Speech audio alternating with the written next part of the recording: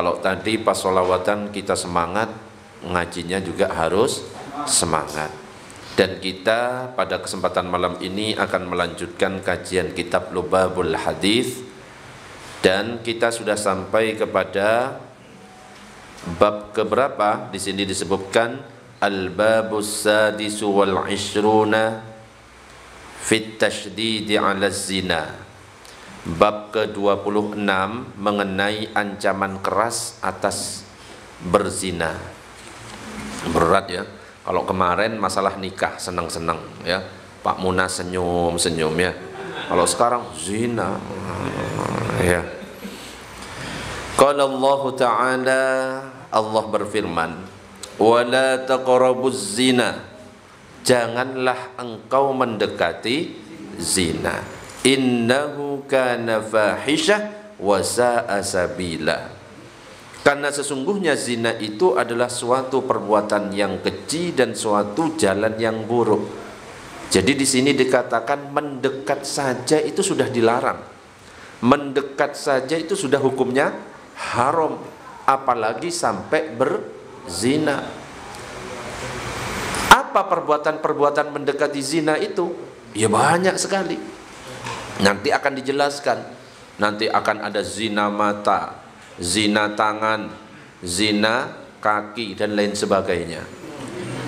Nah, di sini dikatakan Qala Nabi sallallahu alaihi wasallam Nabi Muhammad sallallahu alaihi wasallam bersabda Az-zina yurithul faqra Perbuatan zina itu bisa menyebabkan kefakiran Jadi salah satu Bukan keutamaan ini namanya ya. Salah satu keutamaan zina menyebabkan kefakiran, bukan ya. Ini salah satu apa namanya? Akibat dari perbuatan zina itu bisa menyebabkan kefakiran.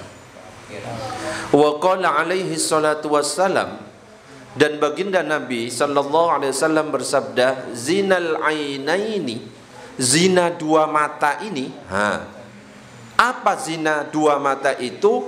Yaitu an-nazaru yaitu memandang. Memandang kepada apa? An-nazaru ila ma la yahillu yajurru ila zina. Memandang kepada suatu yang tidak halal yang dapat menarik ke perbuatan zina. Itu namanya zina mata. Kita lihat di YouTube ada orang nggak pakai nggak menutup aurat itu sudah zina mata. Ada cewek lewat pakai baju-baju sing mini-mini dan lain sebagainya, kita lirik. Itu namanya zina mata. Apalagi ditambah sweet-sweet. Wah, itu tambah lebih-lebih mendekat apalagi didekati, ya. Itu namanya zina mata. Wa qala alaihi salatu wassalam dan Nabi bersabda, "An-nadharu ilan nisa'il ajnabiyyat" memandang kepada wanita lain yang bukan mahram minal kabair maka itu termasuk dosa besar. Hati-hati ya para garangan-garangan ini. Oh itu garangan saya nggak ngerti kok kayaknya welek gitu garangannya ya para para buaya-buaya yang biasanya sering memandang kepada yang bukan mahram ya ternyata di sini disebutkan memandang kepada wanita yang bukan mahram itu adalah termasuk dosa besar. Maksudnya gimana?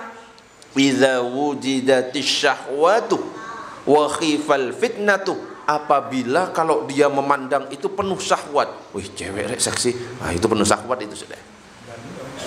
Ya pengalaman dan bisa menimbulkan fitnah di suit-suit itu sudah muncul fitnah kayak gitu makanya yang laki-laki itu diperintahkan untuk menundukkan pandangan dan perempuan juga harus membantu biar laki-laki itu nggak mendongakkan pandangan pakaiannya harus tertutup nah kadang-kadang nggak saling paham ya. Perempuannya yang ngono ya laki-lakinya juga ngono. Akhirnya ya terjadi ngono-ngono. Kan nggak bisa difahami nggak jelas. Padahal kan sudah jelas ya kalau seandainya ada permen yang terbuka bungkusnya saya lempar ke tanah sama permen yang masih terbungkus kira-kira bapak-bapak ini milih yang mana? Yang terbungkus itu cuma omongan tok tapi coba dibandingkan ada cewek dua satunya tertutup auratnya satunya terbuka. Wow ayo yang mana? Oh, kan? Ayo mulutnya buaya yang ngono. Allahumma ala Wa qala alaihi salatu wassalam Nabi bersabda Zinar rijlain. Kalau zinanya kedua kaki Al-masyu Yaitu berjalan. Berjalan ke mana? Ay ila mahallil ma'asi Berjalan ke tempat-tempat maksiat. Maka itu namanya zina kaki. Jalan ke tempat nongkrong yang di situ itu malah isinya orang mabuk-mabukan dan lain sebagainya. Akhirnya melewatkan sholat isya, sholat subuh dan lain sebagainya. Berarti sudah melakukan zina kaki. Itu belum kalau ada cewek-cewek dipandangi zina mata. Nah, kalau datang ke majelis ilmu bukan itu ya bukan saya tugasnya seperti yang disampaikan Pak Herman saya cuma ngajak mau hadir alhamdulillah nggak hadir Nauzubillah. Ya. Makanya kadang-kadang masih saya broadcast, ayo hadir, hadir. Ya, ada yang cuma dibaca, bahkan nggak dibaca sampai Selasa berikutnya. Dikira nggak dicek dah, tak cek, so yang baca, nggak dibaca nih, kurang ajar orang. Nggak apa-apa. Wong tugas saya mengajak, ya dibaca nggak dibaca urusannya, tapi pahala saya tetap mengalir. Dengan mengajaknya itu sudah berpahala. Man dalla ala khairin falahu mislu ajri fa'ilihi. Siapa yang menunjukkan pada suatu kebaikan terus ada orang ngikuti dapat pahala sama dengan orang yang mengikuti. Pak Munas rajin berjamaah. Tiba-tiba ada yang melihat wih Pak Munas rajin berjamaah. Saya jadinya pengen berjamaah juga. Dapat pahala nggak ngerti Pak Munas tiba-tiba nanti di akhirat loh saya kok dapat pahala berjamaahnya berlipat-lipat dijelaskan oleh malaikat ini karena ada orang yang ikut berjamaah lantaran melihat Pak Munas berjamaah. Iya, Pak Munas. Imam besar harus memberikan contoh ya. Imam besar ya. Jadi amal ibadah yang ditampakkan belum tentu itu tidak ikhlas. Ya, ada di grup itu ya ribut karpet dewe. Tak undang nggak hadir amal ibadah yang ditampakkan belum tentu itu tidak ikhlas. Bisa jadi itu tujuannya adalah untuk memberikan contoh kepada orang lain. Wes, saya khawatir ria, tak sholat sendirian aja di dalam rumah. Oh, enggak. Ini malah suruh ditampakkan siarnya kalau berjamaah. Infak, nggak harus namanya ditulis hamba Allah, nggak harus, tulis aja. Bapak sentot, tulis kalau perlu kasih contoh Pak Sentot, 5 juta. Oh, no. Gak apa-apa daripada Pak Munas ditulis hamba Allah. 5 juta. Ketika diumumkan, Bapak Sentot 5 juta. Alah. Riak-riak katanya Pak Munas contohnya. Sing bener ini kayak gini, hamba Allah. 5 juta. Nah, itu baru saya ikhlas. Ngono iku ya sama ya Pak Munas ya. Lebih baik ditampakkan dengan niat memberikan contoh. Yang penting kalau kita sudah tidak khawatir ria, tampakkan untuk memberikan contoh. Kalau khawatir ria, ya jangan sampai meninggalkan amalan karena khawatir ria. Itu namanya ria. Ya. Tidak beramal karena takut ria itu adalah ria. Hati-hati. Jadi disebutkan nanti itu dalam kitab Al-Azkar Al-Qadiyat mengatakan seperti itu. Nanti ya kalau sudah hatam ini kita pindah ke kitab-kitab yang lain. Kita ngaji ini dari bab 1 sampai hatam. Tidak usah niru-niru orang lain ya. Nyampe sini tema iki, nyampe sini tema iki. Akhirnya nggak lengkap pemahamannya. Wis gak lengkap pemahamannya, nyalah-nyalahkan kiai-kiai yang sudah belajar dari kitab paling bawah sampai paling atas ngaji ke masjid ini bulughul marom ngaji ke sana parenting. Ngaji ke sini bukan nggak baik cuma kurang lengkap. Harus ada tuntunan-tuntunan dari bawah sampai ke atas. Dan insya Allah kita sudah pernah ngaji taklimul mutalim ya nyampe bab satu berhenti. Terus ngaji kitab risalatul jamiah di masjid hatam kalau ini. Ikro hatam kalau ikro ya. Ikro 1 sampai 6 hatam. Ya. Oh, kita ngaji berkali-kali, talimul muta'alim, nyampe separuh berhenti. Ya. Namanya manusia kayak gitu, bosen itu pasti ada. Safinatun Najah nyampe cuma bab berapa? Berhenti. Kitabnya Syekhona Khalil Al-Matnus Syarif berhenti nyampe di tengah. Kitab Aqidatul Awam belum nyampe masih bait ke-6 berhenti. Tapi makanya mulai sekarang ini saya coba istiqomah. Ini di sini ada 40. 40 bab. Ada berapa ya? 40 bab dan sekarang kita sudah bab ke-26 lumayan ini. Sudah mulai agak istiqomah. Ya, sudah lebih dari separuh. Uh, iya, padahal satu minggu sekali ini. Berarti sudah 26 pertemuan selain materi-materi yang lain kan ya. Kadang-kadang kita melebar ke materi-materi yang lain. Allahumma salli ala sayyidina Muhammad. Wa zinal yadaini sedangkan zina kedua tangan al-batsyu yaitu penganiayaan tangan, mukuli orang, nyolek cewek. Nah, itu ya. Ya, pura-pura lewat-lewat di keramaian dicoleki. Enggak boleh kayak gitu. Itu zina itu. Wa zinal ainaini An-nazaru disebutkan lagi di sini zina kedua mata adalah memandang kepada sesuatu yang tidak dihalalkan. Wa qala alaihi salatu wassalam dan Nabi Muhammad sallallahu alaihi wasallam bersabda zanyatun wahidatun. Ini dengarkan baik-baik. Berbuat zina satu kali tuhbitu amala sab'ina sanatan itu bisa menggugurkan ibadah selama 70 tahun. Yang dimaksud zina itu kalau sampai helmnya nggak kelihatan itu zina. Kalau gini berarti masih mukaddimah zina. Itu juga haram. Tapi kalau saya ke Abah Joni ndak ke apa? Ke yang bukan mahram, nyentuh, gandeng. Apalagi gandeng istrinya orang itu parah itu ya. Nggak boleh. Nanti ada zina, zina muhson, ada zina ghairu muhson. Zina muhson ini zina yang dilakukan oleh orang yang sudah punya istri atau punya suami.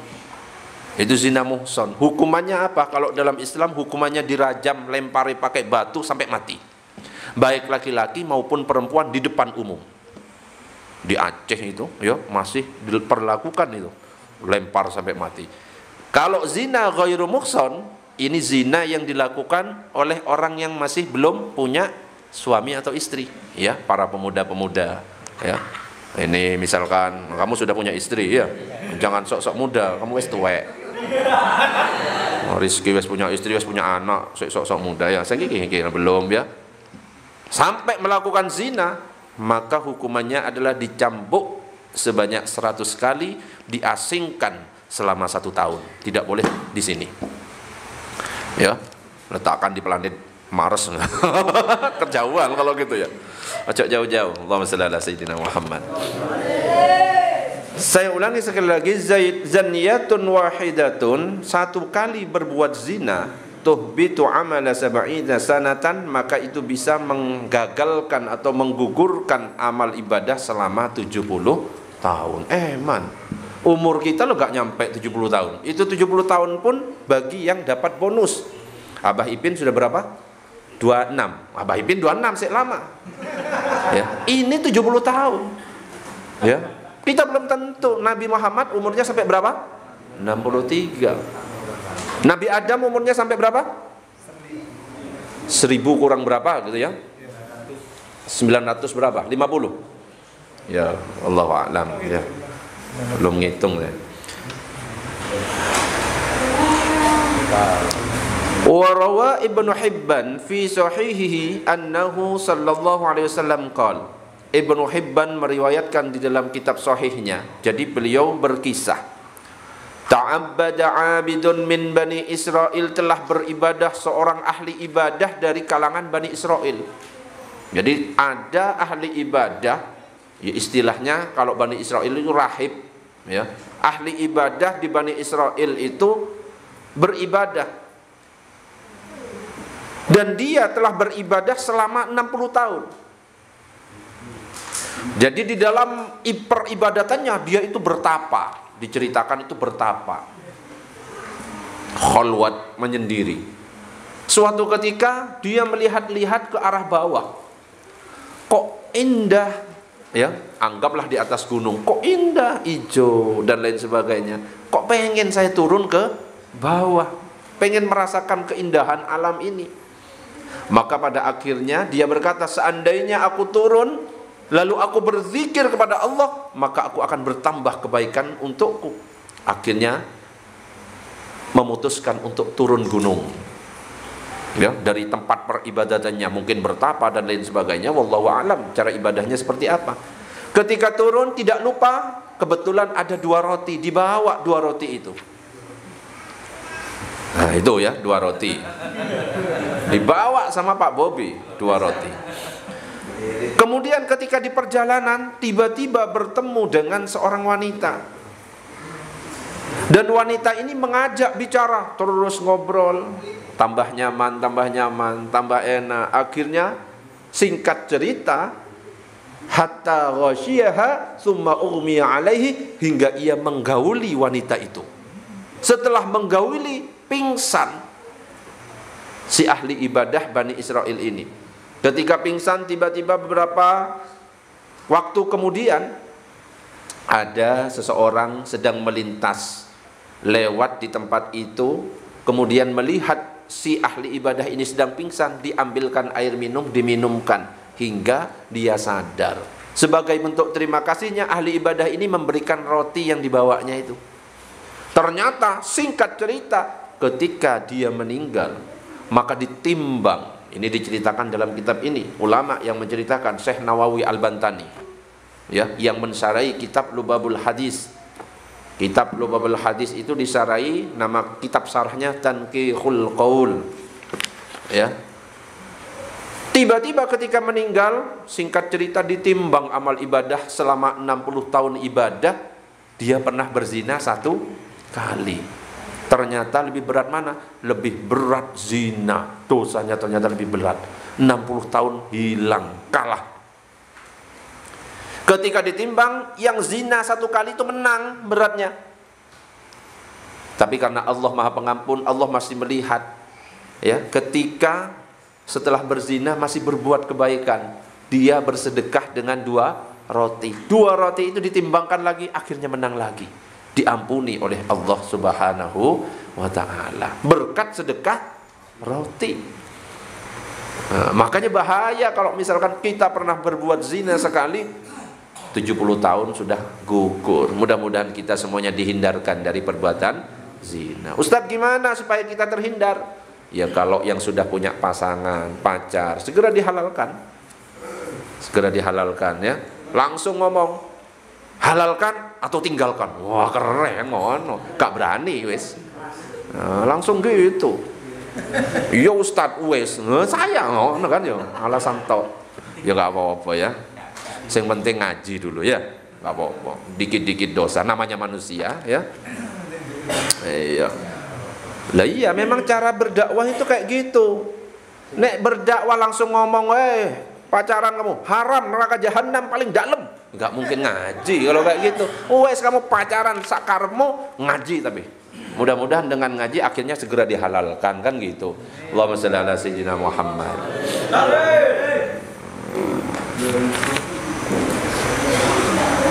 Sampai mana tadi kok tiba-tiba hilang?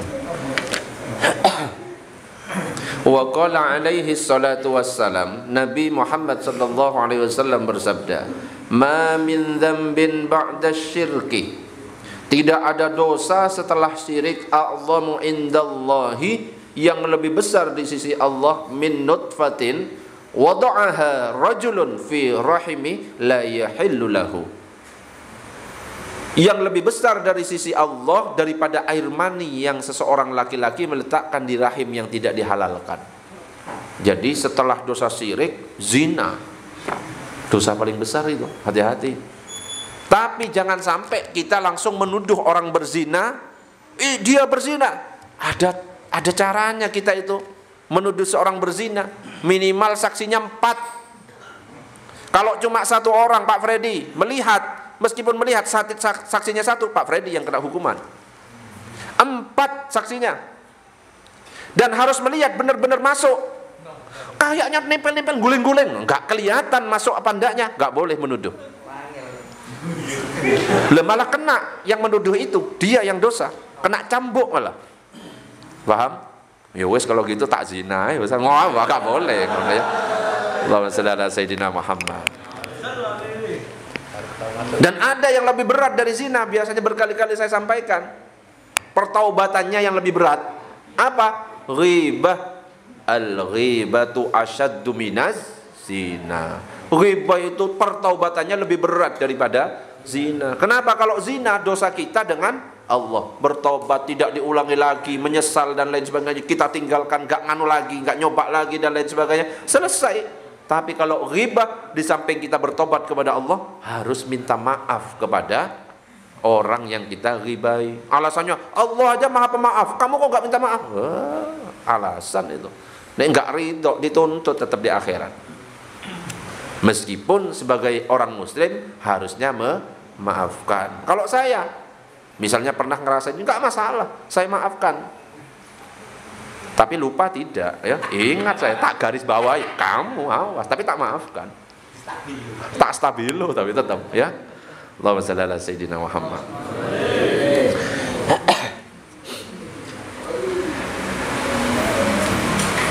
Anna zina akbarul kabair ba'dal kufri. Nah, ini dijelaskan. Maksud dari hadis ini adalah bahwa zina itu adalah dosa terbesar di antara dosa-dosa besar setelah kekufuran. Oh, tingkatannya di bawah kekufuran. Wa qala sallallahu alaihi wasallam Nabi bersabda, "Inna li ahlin nari sayhatan min natni rihi farjiz zani." Sesungguhnya penghuni neraka berteriak-teriak karena bau aroma alat kelamin orang yang berzina. Bau nanti itu mau nek berzina ya di dalam neraka. Jadi nanti kalau ketemu salah satu jamaah Al Anwar terus bau itunya, wah iki iki wis ya Pak Herman lagi rokok-rokokan di neraka. Loh, bau rek. Ya cok rokokan di neraka lah ya. di pinggirannya neraka ngono ya. Sama aja. Oh, cok, wes gak usah rokokan ya nggak bisa rokokan karena di surga sudah nggak ada api ya. Cina nggak sunat sampai sore ya.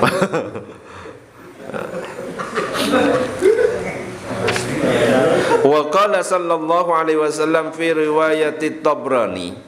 Nabi bersabda sebagaimana diriwayatkan oleh Imam At-Tabrani inna zunata tastaghillu wujuhuhum naron sesungguhnya para pezina akan menyala-nyala wajah mereka dengan api terbakar wajahnya.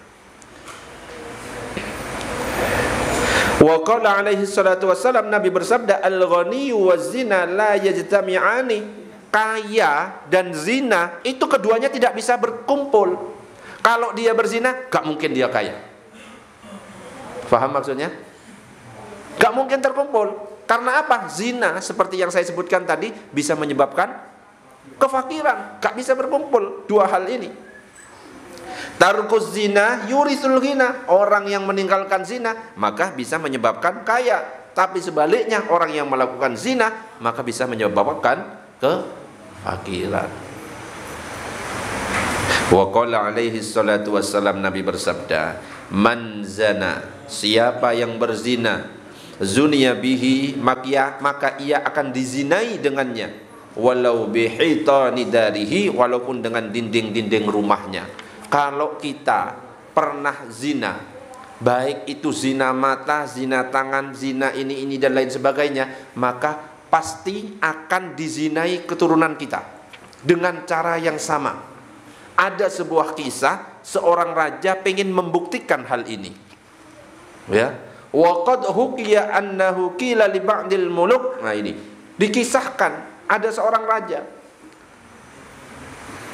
Dia itu pengen membuktikan bahwa ada kalimat seperti ini. Sesungguhnya siapa saja yang berzina atau melakukan sesuatu dari berbagai perbuatan zina, maka akan dibalas dengan hal serupa itu terhadap sebagian dari anak keturunannya. Pak Freddy pernah melakukan ini misalkan, pernah mencium siapa ya, perempuan, anaknya akan diperlakukan sama ada seorang raja membuktikan putrinya yang sangat cantik dititipkan kepada seorang yang fakir. Kebetulan putrinya ini dalam puncak kecantikannya, masih muda, seger, ya, bening dan lain sebagainya. Dititipkan kepada seorang fakir menyamar sebagai perias. Jadi nggak didandani sebagai seorang putri yang awalnya pakai cadar, putri raja kan biasanya dicadari ya, dibuka. Jadi kelihatan kecantikannya. Ternyata apa? Sang raja ini memerintahkan kepada wanita ini untuk tidak melarang seorang pun yang hendak melihat biarkan apa yang kira-kira dilakukan orang yang melihat putri saya yang sangat cantik ini. Ternyata jalan muter. Semuanya ternyata orang yang melihat tidak satupun orang yang melihat kecuali menunduk semuanya. Sungkan untuk melihat wajah sang putri raja yang cantik ini. Sungkan. Nyampe suatu ketika sudah mau nyampe ke depan pintu gerbang raja. Mau buka pintu raja, tiba-tiba ada satu laki-laki.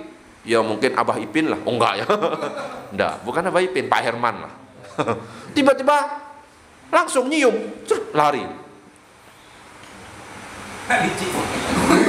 Iya, cuma gitu. Wes mau nyampe rumahnya, buka pintu, laki-laki datang nyium putri raja itu, terus pergi. Datang akhirnya terus bertemu dengan sang raja. Apa yang kamu anu apa namanya? Yang kamu rasakan selama kamu menjadi ini gitu loh. Terjadi apa? Apa yang kamu alami bukan rasakan. Ya. Diceritakan secara detail. Orang-orang itu ngelihat saya itu nunduk semuanya. Padahal nggak tahu kalau itu putri raja karena nyamar. Semuanya kok kayaknya sungkan semuanya. Tapi nyampe di depan pintu, tiba-tiba ada laki-laki nyium lari.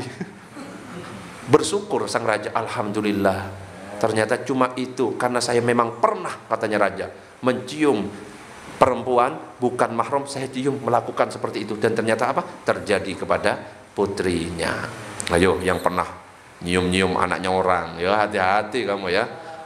Ayo. Allahumma salli ala sayyidina Muhammad.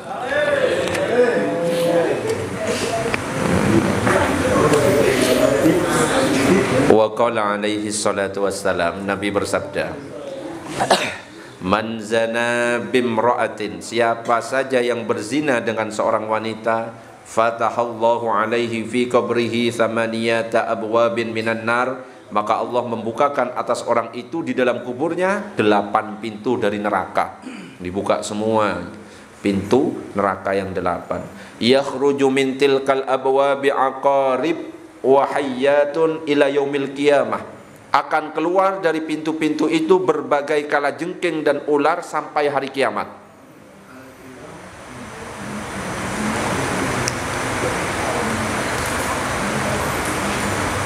Wa anhu sallallahu alaihi wasallam annahu qol dan Nabi bersabda fi jahannam wadin. Di neraka jahanam ini terdapat lembah. Fihi hayyatun di mana di dalamnya terdapat ular-ular kullu hayyatin sakhinu raqabatil ba'ir. Di dalamnya terdapat ular-ular yang besarnya itu setebal leher unta. Di neraka jahanam ada sebuah lembah di mana lembah itu ada ular yang tebalnya ular itu sebesar leher unta. Berarti besar. Talsa'u tarikas solati fayaghla sammuha fi jismihi sab'ina sanatan thumma yataharra lahmuhu. Ular itu akan menyengat orang yang meninggalkan sholat lalu racunnya akan mendidih di dalam tubuh orang itu selama 70 tahun kemudian menjadi lapuk daging orang itu ini bagi orang yang meninggalkan sholat. Wa inna fi jahannama wadiyan dan sesungguhnya di neraka jahanam itu ada lembah lagi jurang ismuhu jubbul huzni. Namanya adalah Jubbul Huzn. Penjara bawah tanah yang sangat menyedihkan artinya. Fihi hayyatun di mana di dalamnya ada ular-ular. Wa aqaribu. Dan kala jengking kala minha biqadril baghli setiap kala jengking darinya dengan seukuran bagal baghli bagal. Itu peranakan kuda dan keledai. Apa itu? Baghli ya itu ya. Ya se, se seukuran kala jengkengnya seukuran keledai. Besar ya. kala jengkeng kan segini ya. Keledai itu kan seukuran siapa? Iqbal. Tapi bukan keledai itu ya. Kan besar kalajengkingnya. Laha sab'una syaukatan fi kulli syaukatin rawayatu samin. Kalajengking itu memiliki 70 sengat, di setiap sengat terdapat wadah penyimpan racun. Kalajengking itu akan menyengat tadrabuz zani, akan menyengat orang yang berzina dan dia akan memasukkan racunnya ke dalam tubuh orang itu yang mana akan terasakan terus menerus rasa sakit efek racunnya itu selama seribu tahun. Ya. Mudah-mudahan kita semuanya dilindungi dari perbuatan zina. Amin ya rabbal alamin. Jangan cuma amin ya lakukan ya. Menghindar ya. Amin amin. Tapi tetap ayo ya. Allahumma salli ala sayyidina Muhammad. Oke. Untuk kajian hari ini cukup sampai di situ. Nanti berikutnya kita akan masuk ke bab ke berapa berarti? 27. Bab 27 ini tentang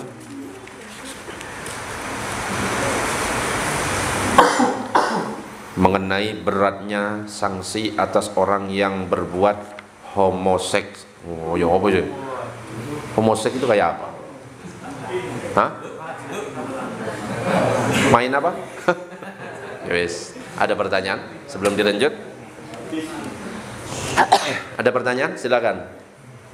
Nanti di neraka itu ada hewan-hewan yang Oh, banyak ular, kalajengking ya. Banyak macam-macam. Garangan.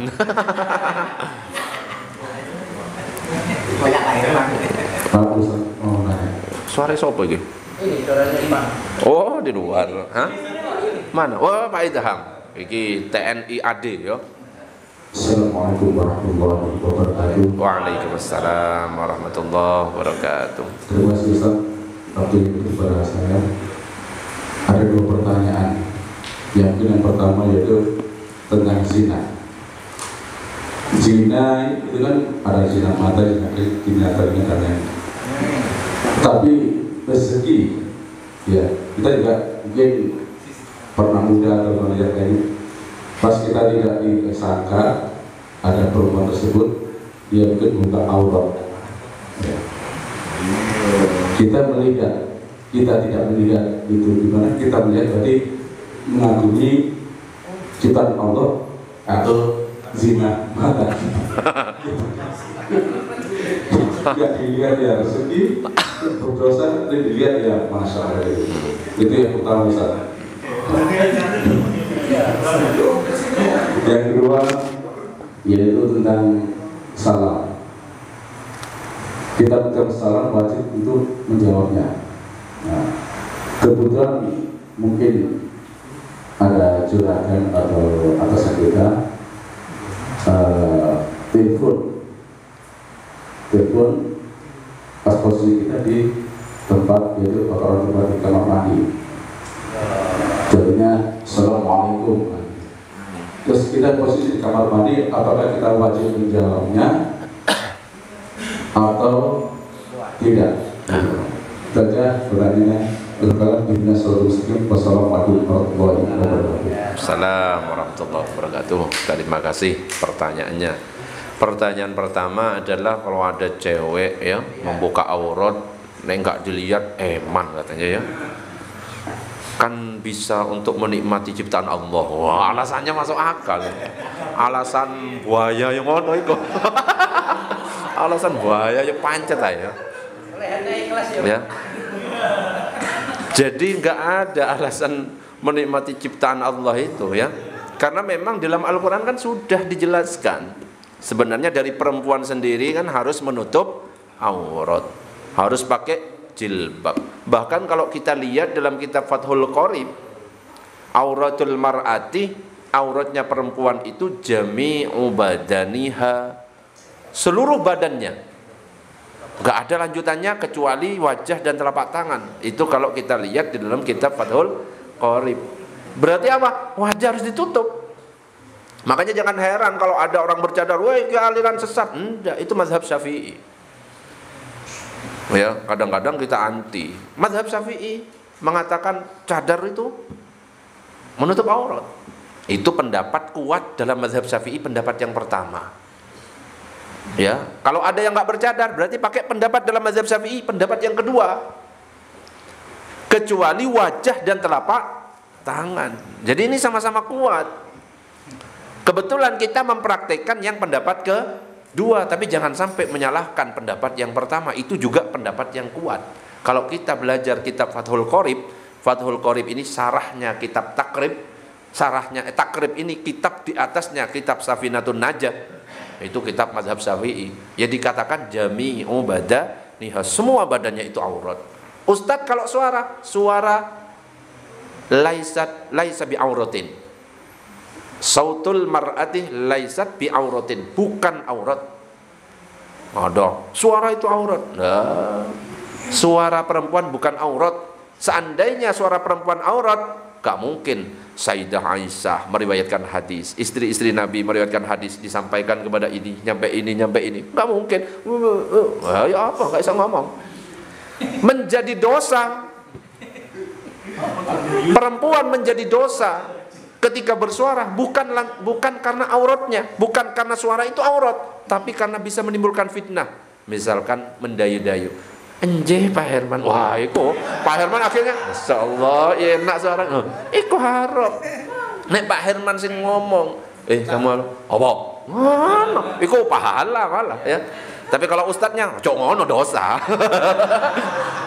Eh, kan? Oh, nggih, Ustaz. Sing apik, sing sopan kalau kok Ustaz. Tidak sekarang. ya.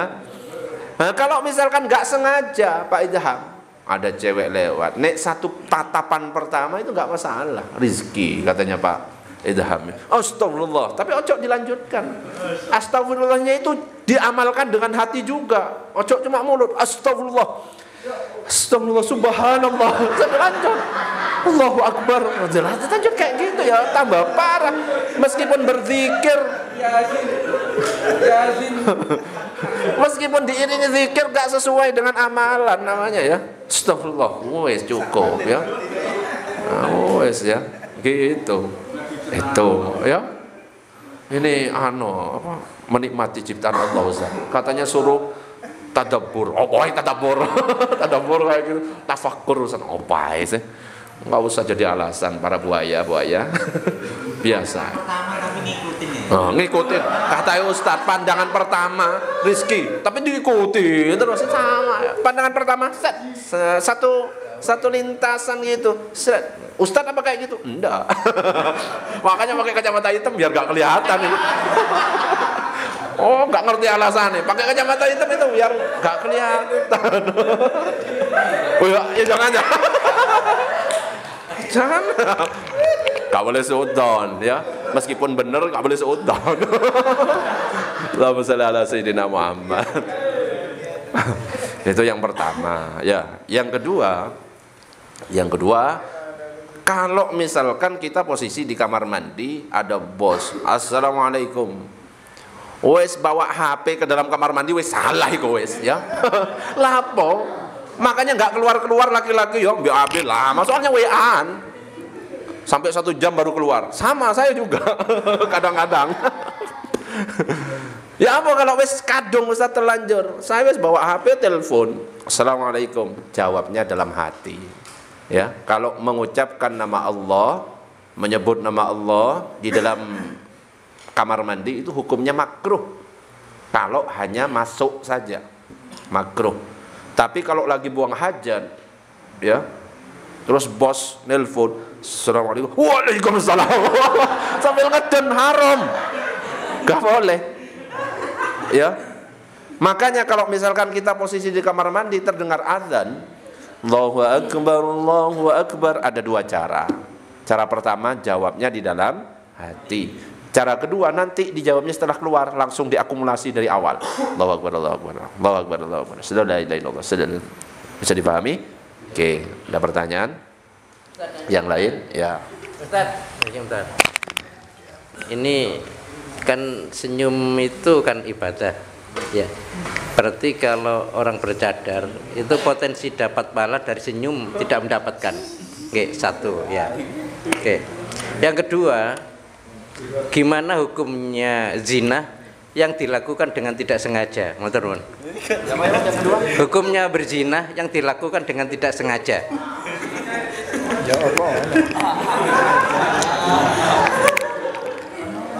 Ada hadis Nabi yang mengatakan senyum adalah sedekah. Ustadz, kalau orang yang bercadar berarti lah gak bisa melakukan sunnah Nabi senyum adalah sedekah, gak kelihatan, gitu kan? Lah emang perempuan mau senyum ke laki-laki lain, senyumnya untuk siapa? Suaminya. Aslinya seperti itu, ya.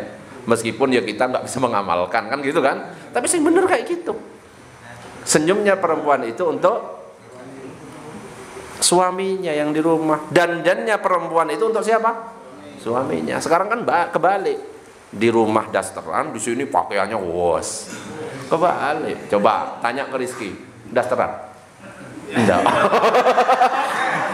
Enggak pakai, bagus itu. Menyenangkan suami, pahala. Malah lebih baik daripada dasteran enggak usah pakai air, ngono air. Yuk. Gitu. Itu yang pertama. Yang kedua, gimana Ustadz kalau zina nggak sengaja? Zina nggak sengaja. Ya apa zina nggak sengaja itu? Tiba-tiba, aduh lupa saya.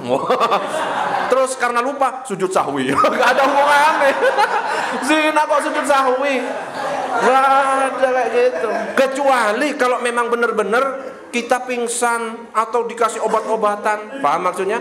Kita dijebak, ya di tempat mana misalnya, ya disergap atau apa dia apa dikasih obat-obatan larang akhirnya yang membuat dikasih perempuan akhirnya kita melakukan tanpa sadar namanya lupa ya sudah khilaf. Enggak lupa itu enggak ada hukumnya.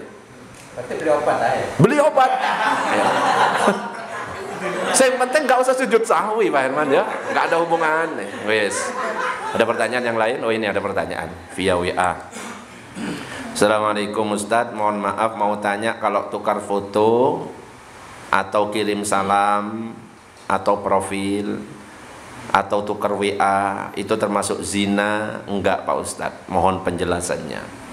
Tukar foto kalau ada hajat, tukar foto kalau ada hajat, misalkan untuk ta'aruf, boleh Enggak ono hajat pamer-pamer foto, ceklik.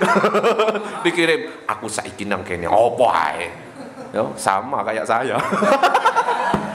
Ini nyindir saya dah. Oh, enggak sopan iki. Enggak apa-apa. Enggak apa-apa. Loh ini kan kalau saya nyeklik-nyeklik itu karena memang eh, apa ladang dakwahnya beda, ya. Beda. Saya nyanyi-nyanyi. Ojo ditiru semuanya, apa nyanyi-nyanyi di depan para kiai nggak bisa. Dilihat ladang dakwahnya. Kalau Kiai Aziz ladang dakwanya orang-orang sepuh-sepuh enggak enggak bisa Kiai nyanyi. Bengawan Solo enggak bisa. Tapi kalau saya muda-muda yang hadir harus masuk ke dalam dunianya. Faham tak Pak Herman maksudnya? Ya.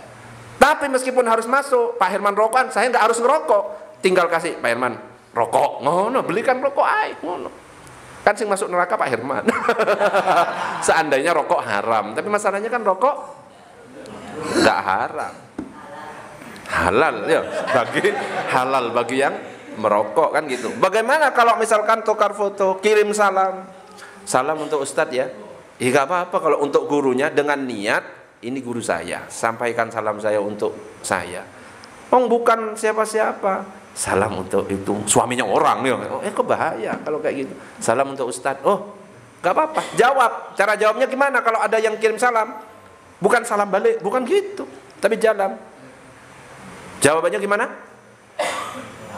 Alaik, alaika wa alaihi salam. Atasmu keselamatan dan juga bagi dia. Coba bersama-sama. Satu, dua, tiga. Kalau ada yang mengucapkan salam via WA dan lain sebagainya, kalau lengkap jawab. Assalamualaikum, wajib jawab. Jawabnya dengan dua cara, via tulisan atau via lisan. Kalau cuma disingkat ASS, gak usah dijawab. PSW aja. Wah. Oh, ASS itu loh meso. Wah, ASS. Kita jawab, terus dibilang ASS, kita jawab keselamatan atas engkau. Lah apa? Nggak usah dijawab. ASS WRWB nggak usah dijawab. Sekalian tulis BBBCCC, langsung huruf-huruf nggak nggak jelas itu. Nggak usah jawab kayak gitu. Apalagi askum. Oh, apa askum? Nggak ada salam itu askum. Yes. Apakah itu termasuk zina? Kalau nggak ada hajat, bisa zina. Tangan yang mengetik bisa zina. Tapi kalau ada hajat, insya Allah tidak. Pertanyaan ini dari bunda bla bla bla, nggak tak sampaikan, ya rahasia. Masih muda Ustaz. Ya.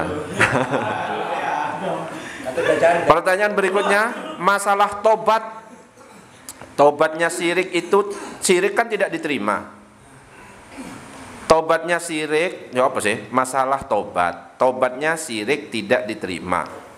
Kalau doa dosa zina, tobatnya gimana? Sirik, kalau orang meninggal dalam keadaan sirik, wes, gak diampuni dosanya.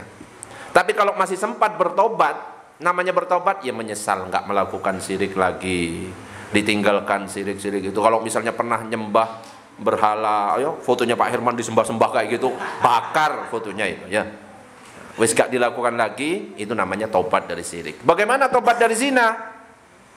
Tobatnya dari dari zina gimana? Tidak mengulangi lagi, gak usah ceritakan, sembunyikan hanya kita dengan Allah yang tahu. Meskipun kita mau nikah dengan ini, gak perlu ngomong kepada calonnya. Eh saya tapi pernah zina. Oh eh gak jadi, gak usah. Simpen rapat-rapat. Ya, gak usah diceritakan. cerita ke. Cerita saya. update status. Tak update status malah ya. Gak usah cerita. Kalau mau cerita kepada orang yang memang dipercaya. Gak ada teman-teman teman curhat gak ada. Tetap akan dibocorkan. Ke Pak Munas kira-kira? Oh, bocor pernah kok gosip dengan saya kok. Gosipnya Pak Herman. Jadi kalau tobat dari zina jangan pernah melakukan, sesali, tinggalkan dan simpen masalah zina itu gak usah dicerita-cerita meskipun untuk calon suami atau calon istrinya jangan sampaikan gak usah bilang kalau pernah lo Ustaz bohong enggak memang cara pertobatannya pertobatannya seperti itu. Oke, ada pertanyaan yang lain? Apakah diterima tobatnya Ustaz? Diterima kalau memang bertobat. Allah Maha penerima tobat. Oke. Ada pertanyaan yang lain? Ini tak lihat di WA Pak Sahrul. Oh kadung tak sebut ya. Padahal Japri ya. Ya tak tak ubah inisial S. Nah, tadi kan nggak jadi ya. Jadi yang bertanya inisial S. Apa ada perbedaan atau kesamaan zina dan maksiat hati dalam pandangan hukum? Apakah perbeda apa ada perbedaan atau kesamaan zina dan maksiat hati? Kalau zina Zina secara perbuatan itu kan sudah jelas memasukkan ini ke ini dan lain sebagainya. Tapi di samping zina yang model seperti itu kan ada zina tangan ada, termasuk zina hati. Zina hati ya masuk maksiat. Sama-sama maksiat. Bahkan zina yang sudah nampak yang saya ceritakan tadi ya maksiat juga masuk. Zina hati masuk sama dengan maksiat hati itu. Zina hati seperti apa? Ya kayak di TV-TV itu ngelihat oh was. Hatinya itu loh sering suudzon, ya kan? Padahal kan berkali-kali saya sampaikan rumusnya kalau kepada orang lain harus husnudzon, baru kepada diri sendiri suudzon. Makanya kemarin itu ada ada orang datang konsultasi, Ustadz gimana cara mengobati hati bilang gitu kalau yang obat hati itu lima perkara saya sudah hafal Ustaz selain itu jawabannya Ustaz. Jadi saya bilang rumusnya kepada orang lain husnudzon kepada diri sendiri suudzon. Pasti akan bersih hatinya. Ya. Misalkan kita ditimpa penyakit yang nggak sembuh-sembuh coba kita misalkan husnudzon kepada Allah. Jangan-jangan Allah memberikan penyakit ini karena dosa saya banyak mau dihapus. Ya kan? Coba tapi kan kita kan suudon. Apa salah saya? Ya Allah dosa saya apa? Kayak nggak punya dosa. Gitu kayak akhirnya kan kotor hatinya. Ya banyak ya dan lain sebagainya. Terus yang kedua apa aja yang perlu dihindari dari maksiat hati? Ya tadi ubah rumusnya. Yang biasanya kita suudon kepada orang lain kembalikan suudonnya ke kita husnudon kepada orang lain. Ada orang infak disebutkan namanya Pak Edi 1M Masya Allah. Kalau bisa saya pengen niru seperti itu. Gitu husnudon jangan langsung lihat oh no kan suudon kan ke orang lain. Salah rumus. Udah. Maksiat sudah hatinya itu. Kotor hatinya. Allahumma salli ala sayyidina Muhammad Nah ini. Ada lanjutannya yang WA maksudnya diterima tobatnya diterima. Terus ada tulisannya matur suwun. Wes. Cuma gitu tok lanjutannya. Oke. Wes sudah? Ada lagi? Siapa? Pak Ede Pak? Ustaz Miftah? Ya silakan. Maksud dari zina tadi mengakibatkan kefakiran. Itu fakir dalam eh, materi materi duniawi atau dalam yang lain? Kan kadang ada yang nampak-nampak berzina informasi yang berzina beritanya berzina tapi kenyataannya dia tekan harus obat pengalaman Ya. Zina bisa menyebabkan kefakiran itu dalam arti pah miskin atau tidak tapi kita lihat orang-orang berzina kaya raya gitu ya kalau ada yang seperti itu istidraj. Ya memang sengaja sama Allah itu. Biar tetap sekalian lalai lupa dan lain sebagainya. Siksanya nanti lebih besar. Ya. Ya miskin ya miskin. Fakir ya fakir. Bisa bisa juga fakir secara ya fakir miskin. Gak punya uang dan lain sebagainya. Ya karena suka beli orang ya kan? Habis uangnya. Bisa juga fakir ya keberkahannya hilang tiba-tiba nggak cukup meskipun kaya kebutuhan ini nggak cukup semuanya gitu loh. Ya masalah terus gak tenang dan lain sebagainya. Bisa juga seperti itu. Ya gak tenang. Ya fakir masalah ketenangan bisa. Pak Edi silakan. Kalau zina itu kan perempuan. Ah, Kasusnya misalkan korban berdosa, berarti kan berdosa kalau laki-laki dan perempuan berzina dosa dua-duanya laki dan perempuan.